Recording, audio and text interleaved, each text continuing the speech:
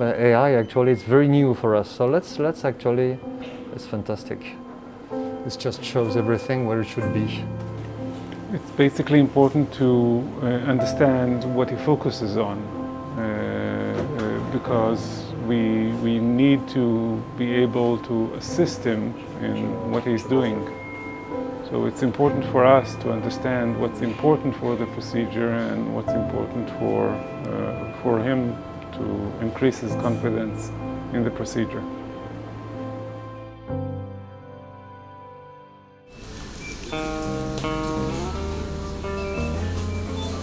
Now, point of care ultrasound has been around for a while now, but artificial intelligence with point of care ultrasound is a new advancement that is very much in its infancy. I'm about an hour southeast of Paris in France, and Dr. Delvaux, who I'm going to spend the day with, is an anesthesiologist specializing in ultrasound guided regional anesthesia nerve blocks.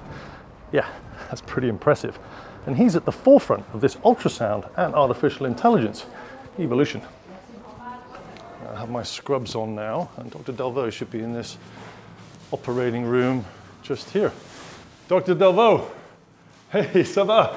Hello. Let's do a bit of a COVID handshake there. How are you, sir? I'm, I'm very good, thank you. And you? How did you specifically get into the use of uh, point of care ultrasound? Uh, I'm, I've been practicing anesthesiology as a diplomed anesthesiologist for more than 15 years. We, we do a lot of peripheral regional, regional anesthesia. This is not local anesthesia. This allows the anesthesia of a whole area of the body, like for example a, a hand, a forearm, a wrist, a foot, an ankle. And we can do that by putting local anesthetic uh, beside the nerve that goes to that specific region. We identify the nerves with ultrasound and we uh, inject local anesthetic. It's done upfront.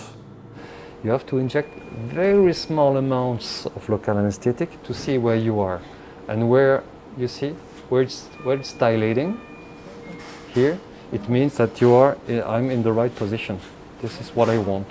If we inject into a blood vessel into a vein or into an artery we should see it right away.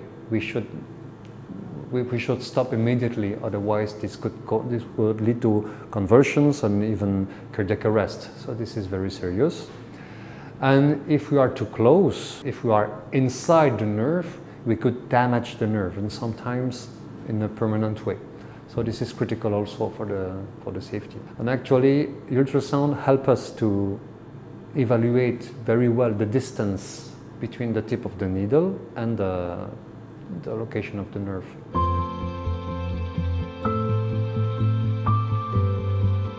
It's artificial intelligence. Um, first, I'm looking for the artery, actually. The artery is here. This is the main landmark, and I'm looking for the bone landmark. This is the first rib, and this is the pleura. And you can see the other, the other part of the pleura here. First time someone approached you and said, hey, artificial intelligence, we've got this idea. We think it might be able to help your procedure of nerve blocking. Yeah. Tell me about that conversation.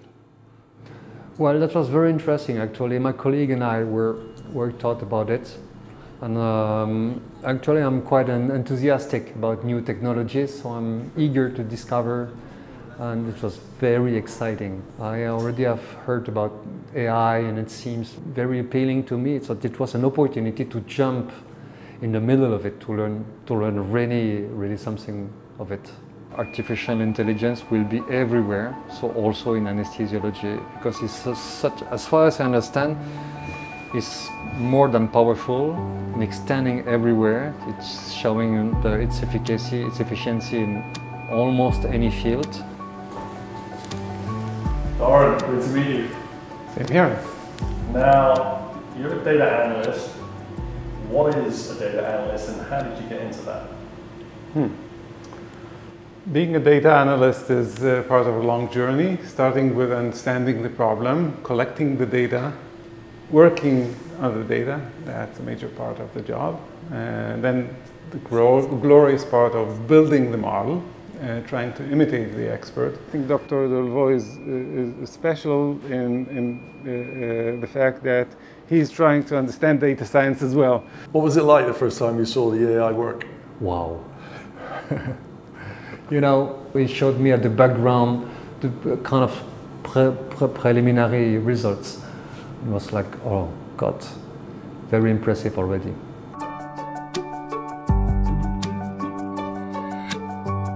Can see it shows the nerve correctly. It follows the route correctly. From a data analyst perspective, the purpose was not necessarily to identify uh, the nerve accurately, but rather to assist an anesthesiologist to locate the nerve and be able to follow the nerve as it changes. I use CNerve to, as a help to identify the nerve, but after that I turn it off and I do my block as usually. I'm aiming the, the space between radial and ulnar.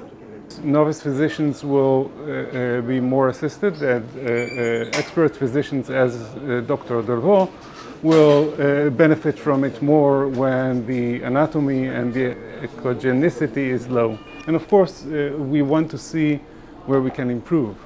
The purpose uh, of the algorithm is to uh, show the location of the nerve or the estimated location of the nerve For a long time it has been providing data and data and data and data.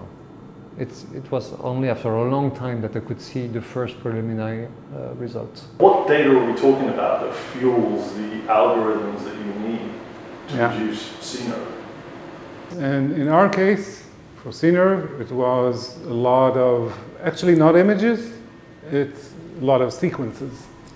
So it's the sequences that people take as part of their scouting process. As the first stage of regional anesthesia, we took a lot of them. We took hundreds and hundreds of sequences. So this is a sciatic block for a, feet, for a foot surgery. Normal landmarks is uh, the popliteal, popliteal fossa and the artery. If I were to say to you, hey, in 15 years' time, you're going to be working with this artificial intelligence technology, Wow, I guess. Great, fantastic, uh, terrific. Or uh, another word in ick.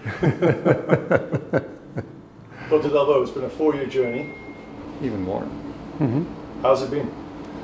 It, it, it, it was great, very interesting. Going at the heart of uh, AI was great. And uh, actually, th- th- this was a very close relationship with uh, GE people, uh, Doron uh, especially. And it's also due to, to the help of the team of uh, Quincy Anesthesie, who actually, uh, we, we, we developed a reg- uh, regional anesthesia culture in our team. So this is really also a teamwork. When do you think CNerve will become commercially available? Well, as far as I know, it's planned for July 2022 for USA and September 2022 in, uh, in Europe. That's not very far away. Not very far away indeed. That'll be a big day for you. Yeah. Celebration, glass of champagne. Yes, I already prepared the bottle.